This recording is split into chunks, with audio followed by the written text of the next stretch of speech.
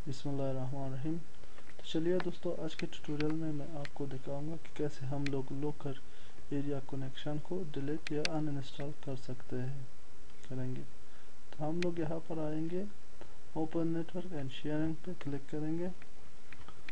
यहाँ पे क्लिक करने के बाद हम लोग आएँगे change adapter setting change adapter setting में आने के बाद तो यहाँ पे हमारे पास कहीं local area connection है local area connection, local area connection 2 local area connection 3 local area connection 4 और ये वायरलेस नेटवर्क कनेक्शन है।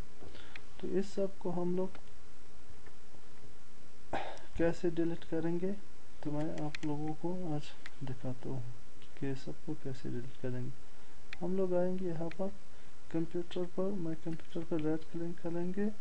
और मैनेज पे क्लिक करेंगे। इस पर क्लिक करने के बाद हम लोग आएँगे डिवाइस मैनेजर डिवाइस मैनेजर पर आने के बाद नेटवर्क अडेप्टर नेटवर्क अडेप्टर पे यहाँ पे क्लिक करेंगे। तो दोस्तों, यहाँ पे ये जो खुलेगा, ये जो हमारा नेटवर्क एरिया कनेक्शन टू जो है तो यहाँ पे भी हमारे पास ये है माइक्रोसॉफ्ट लोपैक अडेप्टर टू तो इस पर अगर हम लोग राइट क्लिक करेंगे और यहाँ पे अनइंस्टॉल करेंगे तो देखिए दोस्तों, ये यहाँ से डिलीट हो जाएगा ओके ये जो पहले हमारा यहाँ पर जो वो अडेप्टर टू था, वो हम लोगों ने उसको डिलीट कर दिया। अब ये adapter three Microsoft loopback adapter three है। ये जो लोकल एरिया कनेक्शन फोर है, ये और इसका यहाँ पर नेम सेम है।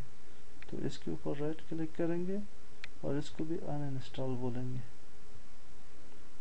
तो ये जो हमारा वो भी था, वो भी अन इंस्टॉल हो गया। तो ये था दोस्तों हमारा आज का ट्यूटोरियल कि कैसे हम लोग लोकल एरिया कनेक्शन को अनइंस्टॉल और डिलीट कर सकते अगर मेरा ये वीडियो आप लोगों को पसंद आया होगा तो प्लीज़ मेरे चैनल को सब्सक्राइब करना मत भूलिएगा।